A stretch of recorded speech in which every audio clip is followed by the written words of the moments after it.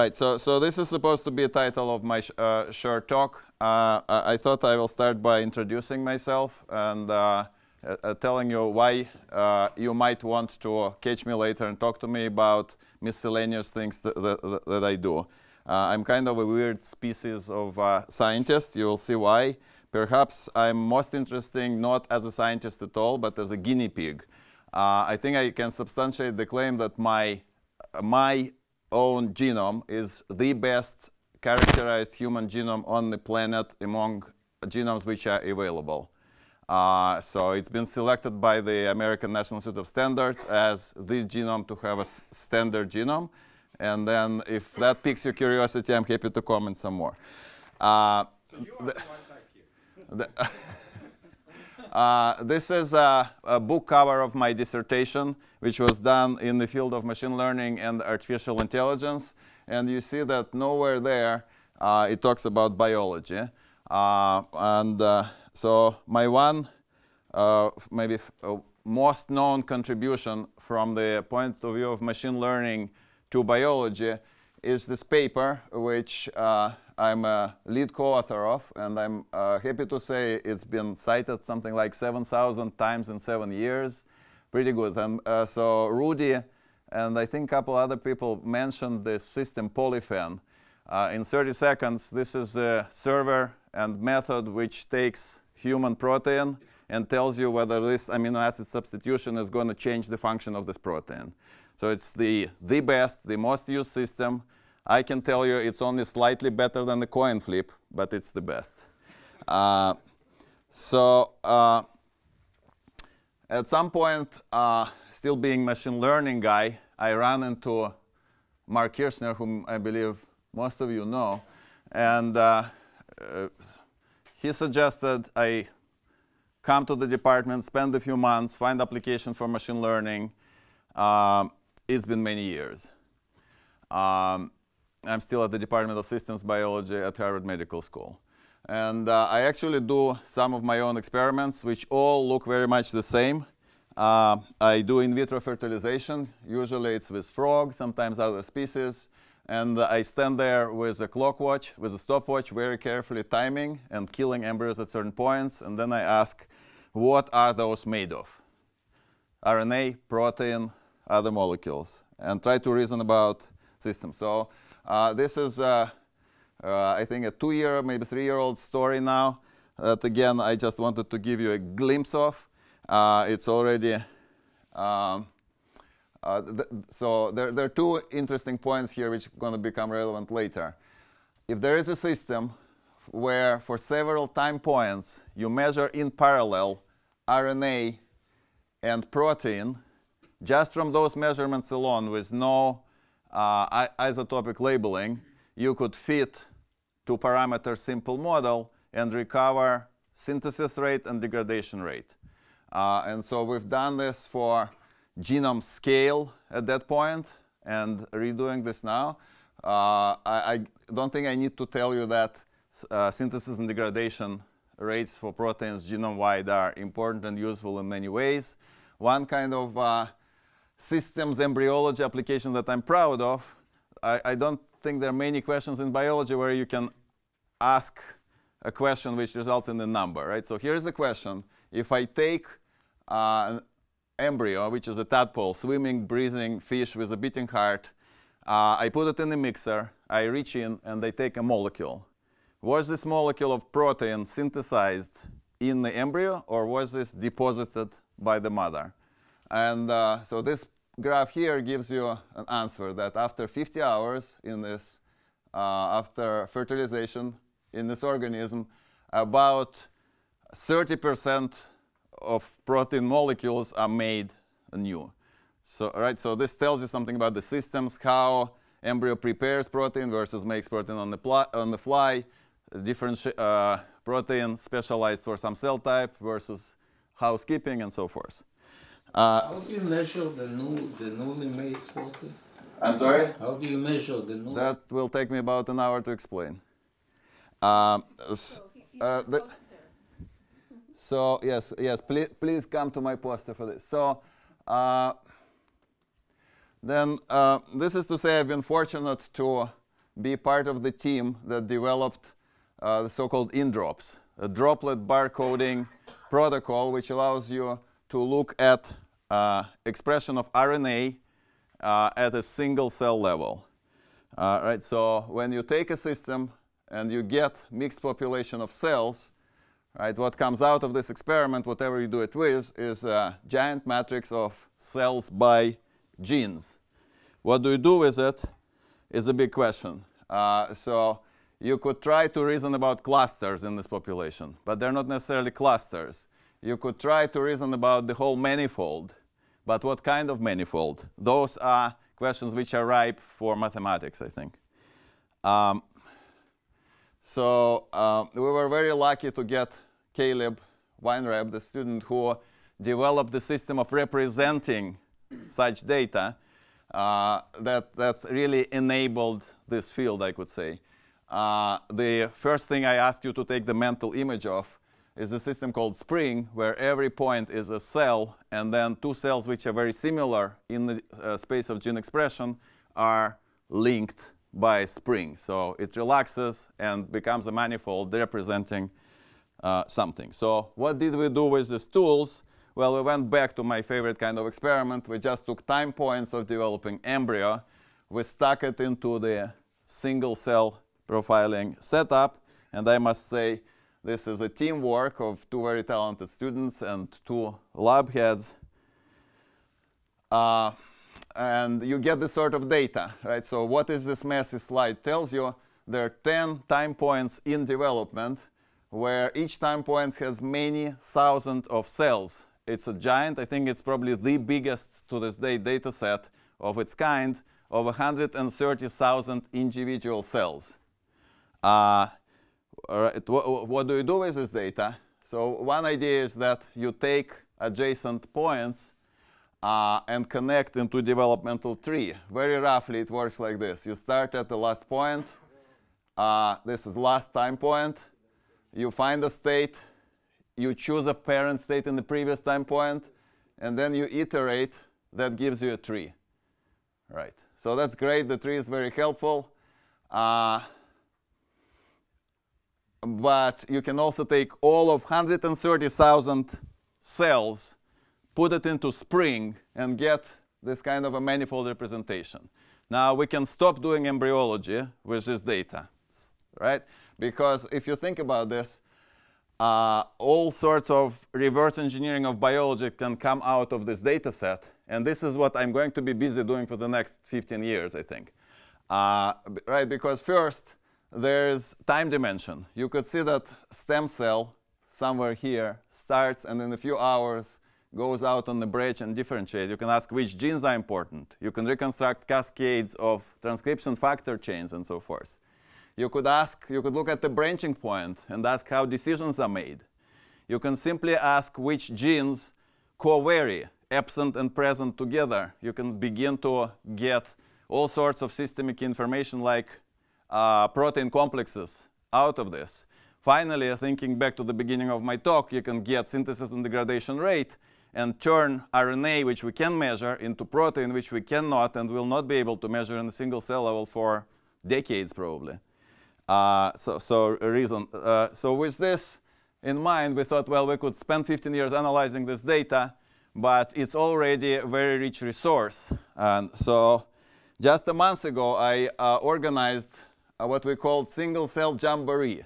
Janelia HHMI generously sponsored this meeting where we invited 26 mostly very advanced senior people in the field of embryology, specifically embryology of frog, to come be trained to use our tools and look at this data. So what is, uh, there are uh, jamborees which happen for genomes when people just sequence Drosophila, for example, and look to understand what genes mean. Now this is the first ever similar effort where uh, an expert in kidney, in blood, in neurons went and said, all right, I recognize some genes, I don't recognize others. Annotate and give us bona fide sets of uh, cells which are differentiated or differentiating. And so again, in itself, it's going to be a very rich resource. Just uh, very briefly the whole effort, we're organized roughly like this. So this is our tree. This is a giant poster that we had on the wall there. And uh, each expert received a small subtree here, took all of the cells, which are ten tens of thousands of cells, which are just between two adjacent time points, uh, and popped this substructure out in the browser in order to understand that particular snapshot in the process of differentiation and wrote a short essay about this. The, you know, the, the, so what are recognizable markers? What are novel markers? Are there any new cell types? Uh, th this sort of uh, information falls out of that. As if uh, frog data was not enough, we compared this whole tree in frog to a matching effort uh, also from our department in zebrafish and asked about uh, conservation. Are cell types conserved? Are the same genes used in the same way in this process? Uh, do cell types fall out of the tree through the same root? Uh, and so forth. So again, there are some surprises here. Uh, so at this point, uh, I think it's clear that with all of this information, uh, my uh, talk looks to you like a paper which unfortunately I think becomes kind of too popular in major journals now. Right, I call it revolutionary technology enables unprecedentedly deep and expensive data set which confidently reveals a new depth of our ignorance about embryogenesis. Uh, so I, I would appreciate a chance to convince you otherwise, but that will take some time and effort and at the poster. In 15 years. today. In 15 years, he wants to give you 15 years to do it. Yeah, I get five minutes. Right, so I mean, I, I think I can open for questions. Your previous slide, was the zebrafish and xenopus data independently processed? In other words, are they independent trees? Uh, I mean, I, I don't understand the question. Independently dissociated, independently collected, independently went through the setup. Oh, yes, absolutely independently analyzed through the process which I sort of illustrated uh, here. Right, so, so you, you just uh, cluster every time point uh, from the marker genes in that cluster, understand which cell type is that, and connect backwards in time, get and get to trees. So both trees show a perhaps surprising characteristic of very early divergence. In other words, there's this was one of surprises, absolutely right. Uh, so there was a huge uh, effort by community to create this kind of ontology, uh, and we co uh, compared. So mostly consistent, but many cell types look to be emerging much earlier than we thought.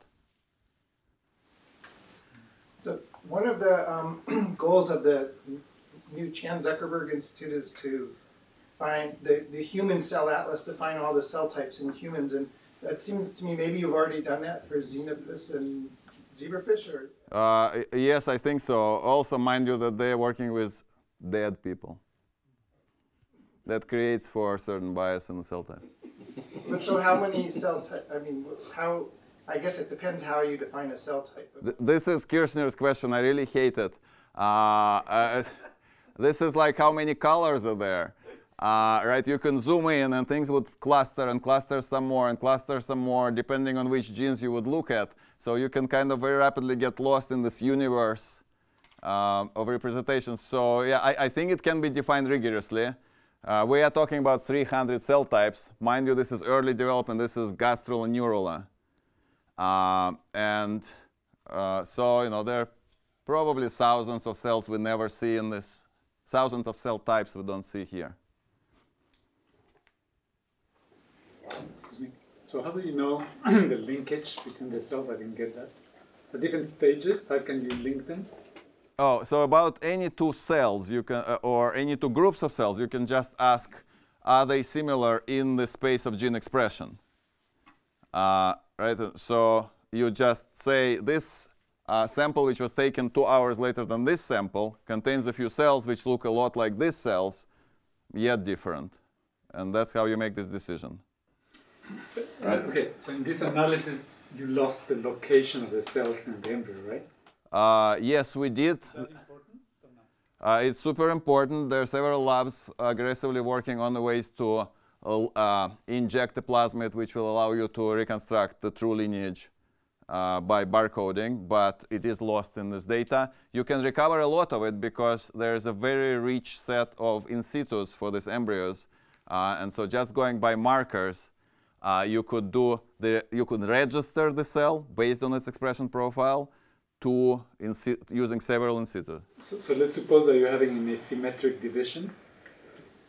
You have asymmetric division going on already at this stage, right? Okay. So how could you, how do you now, since it's asymmetric, the properties also are asymmetric, so how can you link now to the common? I don't think we can do it perfectly. I mean, th- th- th- th- I mean, th- this is a good example of things we're not going to see un- until we sequence deeper. And I also don't take samples two hours apart. I take samples, you know, maybe 20 minutes apart, uh, so that I have enough cells which are similar enough. I think that's what it boils down to. Um, right? I don't believe that asymmetric division will create two cells which are completely different from one another. Most of the genes are probably going to be similar, yet there are going to be principal differences in transcription factors and signaling molecules, and maybe not. So why did you pick Xenopus and not Drosophila? In Drosophila, you can actually back everything with genetic analysis. It's impossible mm-hmm. to do genetics in Xenopus. Uh, it's only descriptive. Mm-hmm. Uh, well, I, I can give. Nobody can do genetics in Xenopus. Would you like a, a polite or an honest answer? oh, okay, seriously speaking, uh, uh, large cells are important. We're looking only at about, uh, let's say, 1 to 5% of the transcriptome. The, uh, the rest is getting lost in the pipes. Uh, and so, uh, giant cells. One- one important reason. You can do morpholinos and CRISPR knockouts in Xenopus. Yeah, You can do a lot. I, I don't think there's is in any way superior to Xenopus, but that's being a groupie.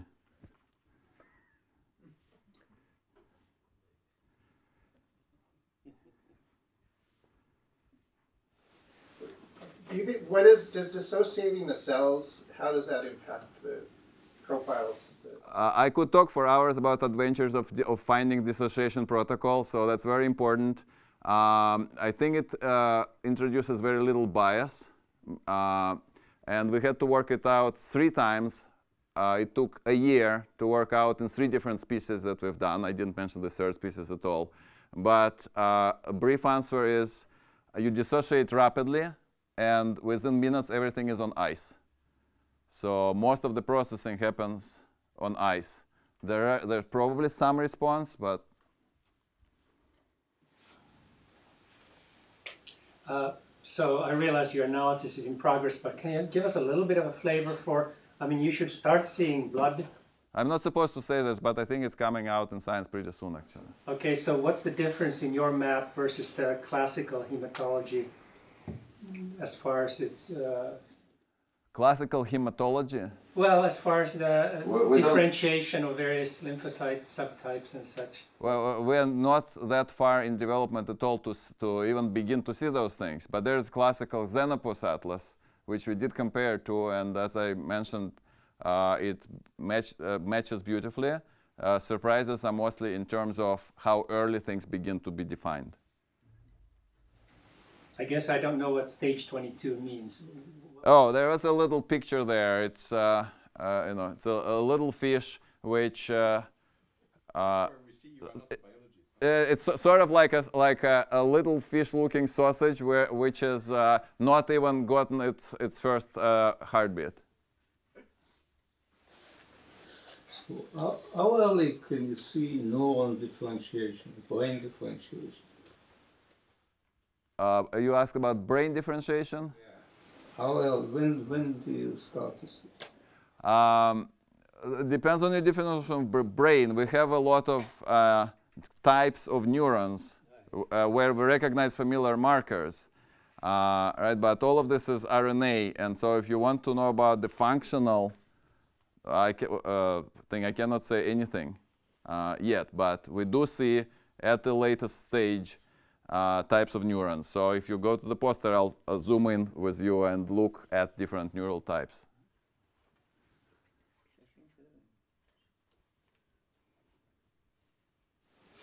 So you, you said between the two, uh, uh, you have around 5% of transcriptome measured in the two species. How much this is? No, I'm saying every single cell uh, gives me, shows me about 1 to 5% of RNA molecules that in the cell, the rest is lost. But as soon as I've taken several cells of a certain kind and averaged, I have a very good representation. Okay, and comparing the two species, how, how much this transcriptome is shared at the different stages?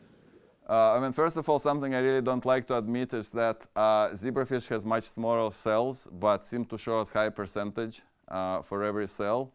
Um, you are asking how similar is the expression across tissues.